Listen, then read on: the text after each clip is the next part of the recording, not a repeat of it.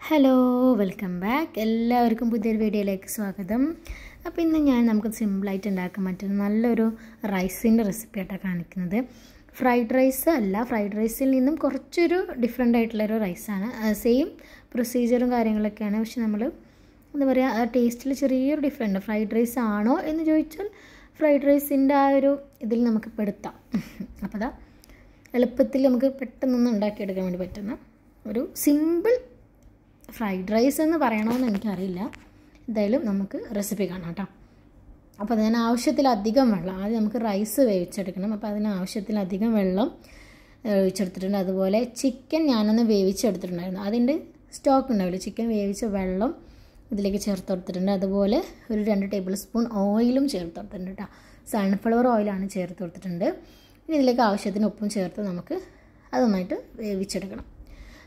നല്ലപോലെ വെള്ളം തിളപ്പിച്ച് വരുമ്പോൾ അതിലേക്ക് റൈസ് ചേർത്ത് കൊടുക്കട്ടോ ഞാനിവിടെ ഇന്ത്യ ഗേറ്റിന്റെ ബസ്മതി ലോങ് ഗ്രെയിൻ ബസ്മതി റൈസായിട്ട് എടുത്തിട്ടുള്ളത്. അത് ഞാനൊന്ന് കഴുകി ഒരു അരമണിക്കൂർ വെള്ളത്തിട്ട് വെച്ചിട്ടുണ്ടായിരുന്നു കേട്ടോ ഇനി ഒരു പാനിലേക്ക് ഇതുപോലെ ഒരു ബട്ടർ ഒരു ചെറിയൊരു പീസ് ബട്ടർ ചേർത്ത് കൊടുത്ത് ചേർത്ത് കൊടുത്തിട്ട് നമുക്ക് അതായത് പോലെ ബട്ടർ നന്നായിട്ട് മെൽറ്റാക്കി എടുത്തിട്ട് ഞാനിവിടെ ചിക്കൻ വേവിച്ച് വെച്ചിട്ടുണ്ടായിരുന്നു. ചിക്കൻ ഉപ്പും മഞ്ഞൾപ്പൊടിയും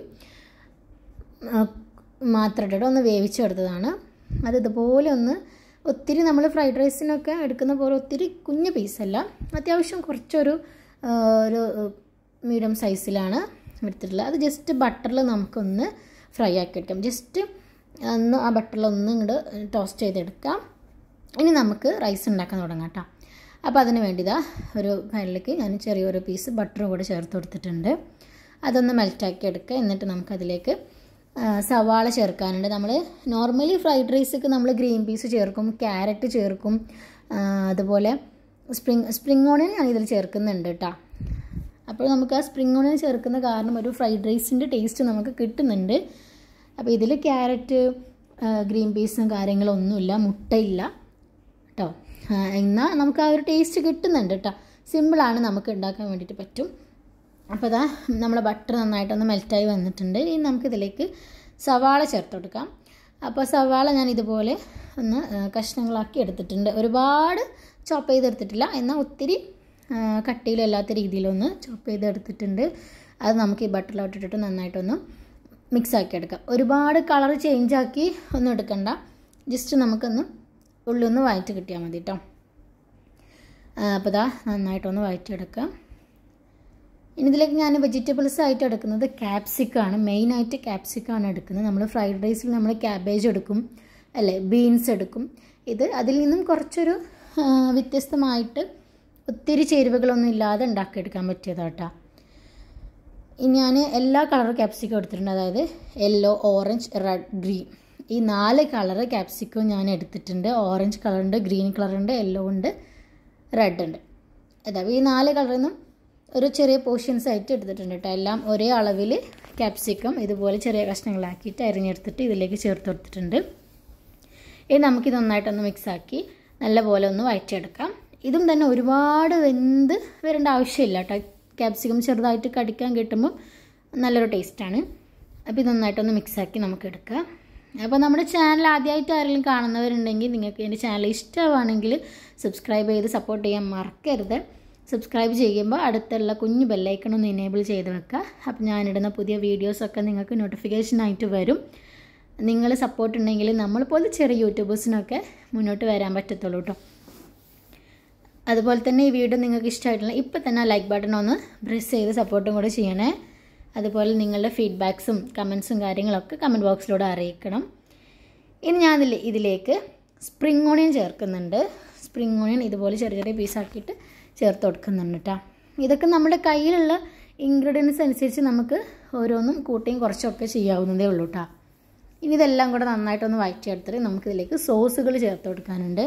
സോയ സോസ് ചേർത്തെടുക്കാം സോറി സോയ സോസ് ചേർത്തെടുക്കാം ഇനി ഇതിലേക്ക് നമുക്ക് ടൊമാറ്റോ സോസ് അതും കൂടെ ചേർത്ത് കൊടുക്കട്ടെ അപ്പോൾ സോയ സോസ് ഒരിക്കലും കൂടരുത് കേട്ടോ അപ്പോൾ എന്റെ കുറച്ചൊന്ന് കൂടിപ്പോയിട്ടുണ്ട്. അതായത് റൈസിന്റെ കളറ് മാറിപ്പോയിട്ടുണ്ട്. അപ്പോൾ ആ സോയാ സോസ് കുറച്ചൊന്ന് കൂടിയ കാരണം നമ്മൾ ആ ചോറിന്റെ ഒരു കളറ് ഒരു ചേഞ്ച് ഉണ്ട് കേട്ടോ അപ്പോൾ അതൊന്ന് പ്രത്യേകം ശ്രദ്ധിച്ചാൽ മതി.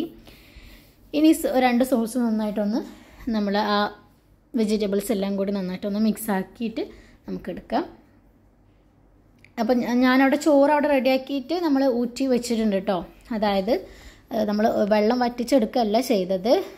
റൈസ് നമ്മൾ നെയ്ച്ചോറൊക്കെ ഉണ്ടാക്കുന്ന പോലെ വെള്ളം വെള്ളത്തിൽ ചോറ് നന്നായിട്ട് വേവിച്ച് ഊറ്റിയെടുത്ത് മാറ്റി വെക്കാം കേട്ടോ.